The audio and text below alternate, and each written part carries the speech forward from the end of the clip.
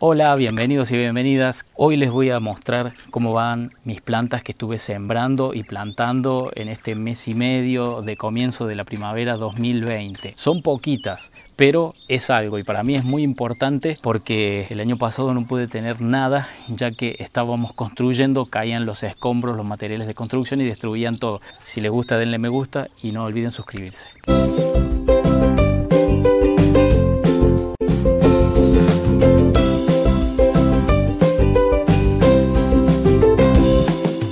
Voy a comenzar mostrándoles cómo va este macetero que hice, este huerto vertical con pallets. Esta menta estaba muy chiquita, ha crecido mucho y sigue creciendo. Aquí puse acelga, perejil que está un poco lento. Aquí nació algún tipo de calabaza, zapallo, que no sé qué es, y quien lo puso yo no fui, pero apareció ahí, quizás venía con la tierra, porque lo mezclé con tierra fértil comprada. Aquí tenemos otro tipo de menta, y unas plantitas de fresa. Lo mismo en los siguientes, como ven. Y en este último puse más rúcula, que ya pronto va a estar lista para consumir. Alguna ensaladita vamos a hacer.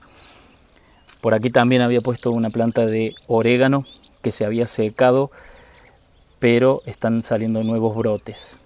Aquí hay más acelga y fresas. Por este otro lado les muestro el cajón rojo que empezamos a hacer en invierno, en la última parte del invierno, y donde pusimos perejil, acelga, rúcula, etcétera. Algunas cosas las fui trasplantando. Aquí es donde habíamos puesto también tomate y pimiento, pero vino una helada muy tardía después de que había empezado el calor y se quemó todo. Aquí tenemos, estaba haciendo unas pruebas con pedacitos de papa, vieron donde brota, y también puse por aquí unos palitos de burrito y no todos prosperaron, excepto este y como ven este sí fue bien, está soltando brotes.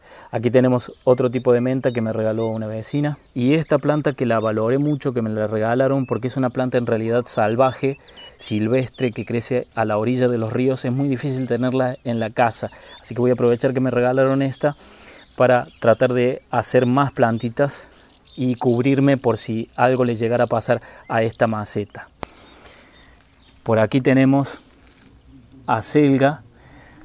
Ahí, aquí tenemos unos zapallitos que nacieron, creo que son de calabazas, naranjas, tipo cabuto, anco, no sé cómo le llamarán, va cambiando, tiene muchos nombres. Estas plantas también nacieron solas en una bolsa de basura que al final quedó abandonada, en realidad era más que nada materia orgánica y que no tenía la compostera en ese momento, por eso nacieron esas plantas cuando llegó una lluvia. Es una plantita de ruda, una planta que siempre quise tener y nunca pude hacer nacer de semilla. Bueno, una vecina me regaló, mi vecina de enfrente, que es una genia.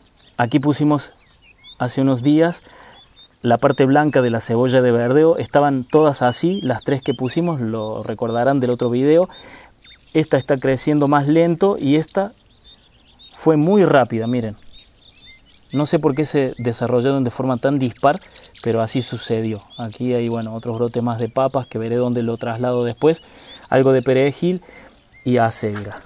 Aquí hay una cebolla de verdeo que también con la misma técnica de usar la parte blanca está floreciendo. Tal vez la deje para que semille y poder sembrar.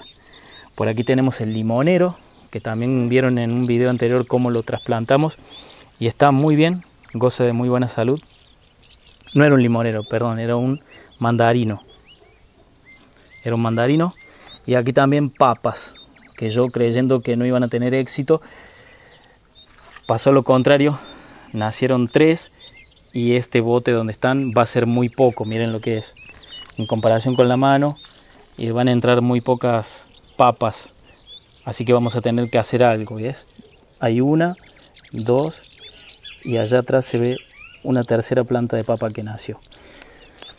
Y ahora vamos a trasplantar estas tomateras que ven aquí a un tacho grande que tenemos ahí, una maceta grande donde venía eh, unas plantas de frutal que compré. Le pusimos bastante agua para que esté bien hidratada la planta y que no sienta mucho el cambio, digamos que no se estrese, se suele decir por ahí. ¿Ven? Hasta ahí. Hasta casi donde empiezan las hojas. Vamos a poner una más al ser plantas más pequeñas estas, las tomateras cherry, creo que va a funcionar bien. Bueno, ahora le ponemos tierra, ya saben.